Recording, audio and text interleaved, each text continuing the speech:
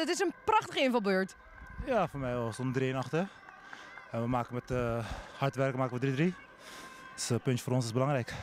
Ja, want uh, inderdaad, de legio kansen waren er. Hoeveel kansen hadden jullie nodig? Wat dacht je op een gegeven moment? Joh, die bal die moet er een keer in. Ik dacht op een gegeven moment, wanneer kom ik er zelf in? nee, ik had wel zin om te spelen, vooral omdat het mijn oude ploeg is. En ja, ik vind dat we sowieso qua ploeg wel vandaag een gelijkspel of hadden moeten winnen. Ja, want inderdaad, jij komt erin en je denkt ik haal ook een keer uit. Dan raak je die lat. En dan, want wat komt er extra los als je en invaller bent en tegen de club speelt waar je volgens mij nog onder contract staat, toch? Extra los, ja. Sowieso als je invalt komt er extra los omdat je op de bank zit. En ja, tegen mijn oude ploeg weer natuurlijk scoren en uh, gelukkig is het gebeurd. Wat zegt dit over jullie in die strijd tegen degradatie? Ja, dat we het wel kunnen.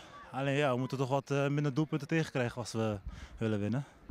Dus ja, we moeten gewoon uh, iets meer compact spelen en proberen de nood te houden. Vooraf zijn jullie trainer, nou wij moeten het niet heel erg hebben van onze, onze mentaliteit, van die strijd, het lef, misschien ja, fysiek vechten. Maar goed, in deze wedstrijd bleek dat wel hè? Ik denk, de trainer was juist aan het hameren op de mentaliteit. Dus ik denk dat hij het verkeerd gezegd heeft. Want wij moeten het juist hebben van onze mentaliteit. Voetballen kunnen we het ook, maar alleen ja, mentaliteit is toch het belangrijkste bij ons. Omdat we al onderaan staan, dus we moeten sowieso knokken.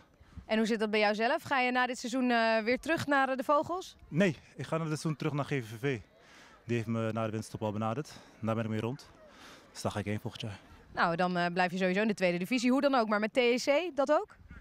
Daar ga ik wel vanuit. Ik probeer alles te geven. Jammer dat ik op de bank zat vandaag, maar ik denk dat ik als ik erin kom dat ik sowieso 100%, 100 gegeven en dan uh, zie je wel hoe het gaat. Visitekaartjes afgegeven, dankjewel.